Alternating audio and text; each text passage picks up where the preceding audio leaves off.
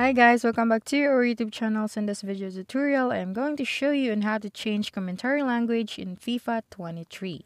So the first thing that you need to do is just to tap on the settings. Okay, this one. Mm -hmm. And then tap on the settings. And then tap on game settings. And then from here, you'll be able to see the audio at the top corner of your screen. And then when you scroll down, mm -hmm, you'll be able to see the commentary language. So it's blocked and you can change it. Now, the next thing that you can do in order to unblock that one or two just exit the game and then go to your Steam library and then right click to the FIFA 23 and select properties and then tap on language.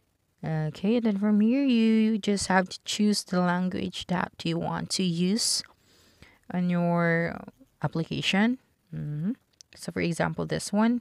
So now it's updating okay as you can see so you'll just have to wait for it so after downloading the updated version of it you'll just have to go back to your um, application and then um, tap on the gear icon or the settings mm -hmm. and then go to the settings and then game settings again and then when we go to the audio and then scroll down as you can see here, the commentary language has been changed to Italian. Okay, so that's it.